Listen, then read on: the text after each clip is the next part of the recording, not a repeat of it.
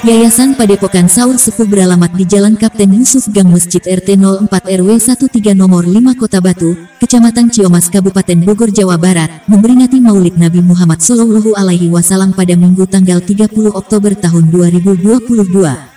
Acara dihadiri oleh semua pengurus Yayasan Padepokan Saur Sepuh serta warga masyarakat sekitar, juga para undangan, dengan harapan semoga dengan acara maulid ini dapat menjadikan ajang silaturahmi sesama anggota, juga warga masyarakat.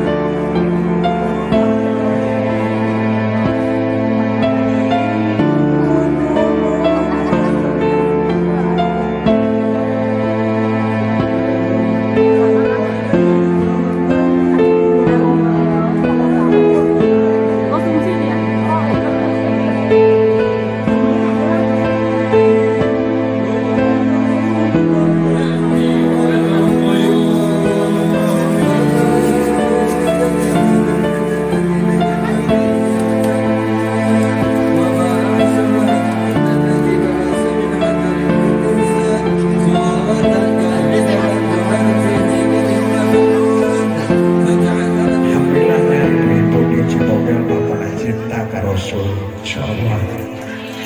Alhamdulillah kita bersyukur kepada Allah Subhanahu wa taala yang mana kita dapat berkumpul bersama-sama di rumah atau kediaman Bunda Yana. Yang mana Bunda Yana ini selaku pemimpin Padepokan atau Yayasan Padepokan Saur Sepuh yang insya Allah selalu ada dalam ridho Allah Subhanahu wa taala. Amin. Karena beliau selalu mengadakan acara-acara yang positif untuk kita semua khususnya untuk warga RW 13 untuk demi kemakmuran warga RW 13 Alhamdulillah. Sudah saya terima sudah saya terima dan saya ucapkan banyak-banyak terima kasih atas nama warga khususnya RT 04 umum warga RW 13 yang telah mencicipi uh, sebagian harta dan rezekinya dari Ibu Bunda Yana serta rengrengannya semoga kebaikan Bunda Yana ini dibalas oleh Allah Subhanahu wa taala. Amin. Ya rabbal alamin.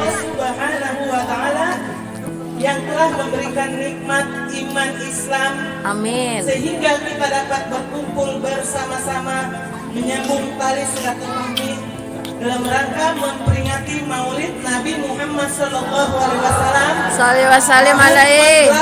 1444 Hijriah atau tahun 2022 ini.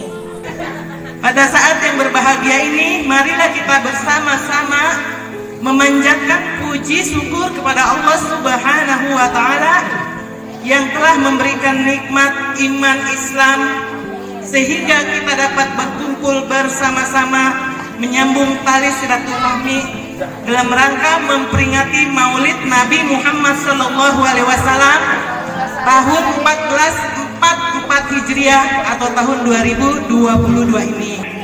Saya dan rekan-rekan penye- penyelenggara acara Maulid Nabi Muhammad Sallallahu Alaihi Wasallam ini mohon maaf apabila dalam pelaksanaan terdapat banyak kekurangannya.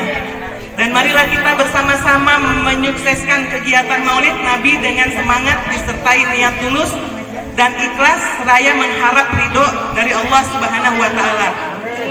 Demikianlah sambutan dari saya. Wabillahi taufik wal hidayah. Wassalamualaikum warahmatullahi taala wabarakatuh. Robi Palapa TV mengabarkan.